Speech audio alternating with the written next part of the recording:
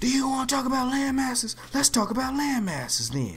First, we had Pangea. This turned into what we now know as the seven modern continents, being North America, South America, Antarctica, Europe, Asia, Africa, Australia, which happened due to a big shift known as plate tectonics. A big comparison between all these continents would be the plate tectonics and the land masses that form naturally. The kind of plate tectonics that allowed the continents to move would be divergent boundaries, which you know allowed them to pull apart. Now, within each of these continents, there is some form a mountain or such that was actually not diverging boundaries but converging boundaries, which was a collision of plates. Let's start with North America, which was 9.54 million miles squared in size and holds Yellowstone, which is home of the supervolcano, which you know was made also with plate Now we have South America, which was 6.88 million miles squared, and where the Andes Mountain lay, as said before, was also made with plate tectonic movement.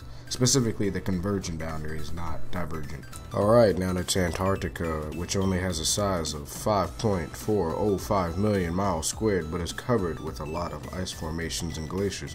So, there's a big mountain to be made, which is called Mount Kirkpatrick. Europe is the second smallest in size, being about 3.931 million miles squared. It has also shared itself a mountain with Asia, being the Ural Mountains. Asia is the biggest of them all and is 17.21 million miles squared in size and has the biggest mountain in the world, being Mount Everest.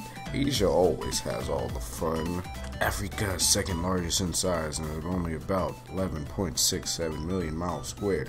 That's big, but sadly it's mountanism, which is Mount Kilimanjaro. Still a pretty big mountain though. Lastly, there is Australia, which tops in at the smallest, only being about 2.97 million miles in size. And the biggest mountain they have is Mount Kosciuszko. I'm Jaylen, and I'm out. See you.